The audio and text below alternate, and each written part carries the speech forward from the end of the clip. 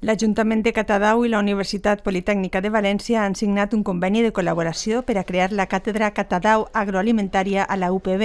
El seu objectiu, impulsar la innovació en el sector del caqui i augmentar la seva productivitat, tal com assegura l'alcalde de Catadau, Manuel Enrique Bono. Nosaltres el tema estrella de la càtedra és el tema del quequi, no? Nosaltres ens donem compte que en el tema del quequi n'hi ha molt de quequi que va a terra, que no s'aprofita, i volem veure com i de quina forma podríem veure d'aprofitar-lo, no? Es pretén que les innovacions que aporta la càtedra repercutisquen en l'ocupació i en el creixement econòmic, així ho conta l'alcalde del municipi. Per tant, doncs podem ajudar a la cooperativa que tenim allí i al mateix temps a l'empresa que tenim en el poble, que avui és una de les empreses que més gent ocupa i que pensem que podem arribar a un bon port en aquest tema.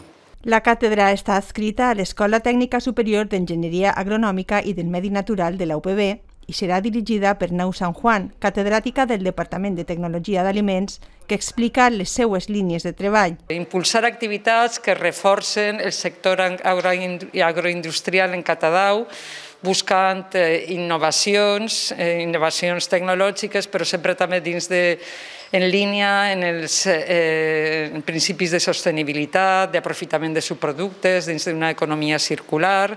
Tant el rector de la UPB, José Esteban Capilla, com la subdirectora de càtedres d'Empresa i Cooperació de l'Escola Tècnica Superior d'Enginyeria Agronòmica i del Medi Natural, Maria Loreto Fenollosa, han expressat la seva satisfacció per la constitució d'aquesta càtedra, que contribuirà a assolir els objectius de desenvolupament sostenible amb els quals està compromesa la universitat.